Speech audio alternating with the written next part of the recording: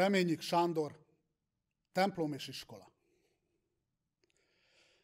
Ti nem akartok semmi rosszat, Isten a tanutok reál. De nincsen, aki köztetek-e szent harcot ne állaná, ehhez Isten mindannyiotoknak vitathatatlan jogot ad. Ne hagyjátok a templomot. A templomot az iskolát.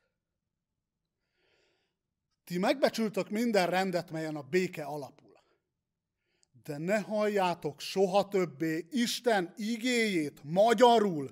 És gyermeketek az iskolába ne hallja szülői szavát, ne hagyjátok a templomot. A templomot az iskolát. E templom iskola között futkostam én is egykoron, és hűtöttem a templom falán kigyulladt gyermekhomlokom. És azóta hányszor éltem át ott lelkem zsenge tavaszkorát. Ne hagyjátok a templomot. A templomot az iskolát. A koldusnak, a páriának, a jöttmentnek is van joga Istenéhez apái módján és nyelvén fohászkodnia. Csak nektek ajágatják templomul az útszélét, és az égbolt sátorát, ne hagyjátok a templomot. A templomot az iskolát. Kicsi fehér templomotokban most minden erők tömörülnek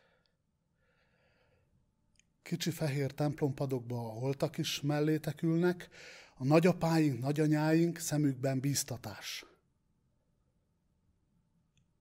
Vagy vád.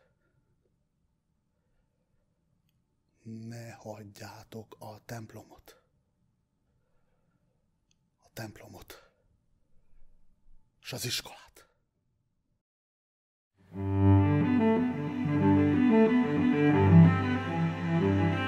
Thank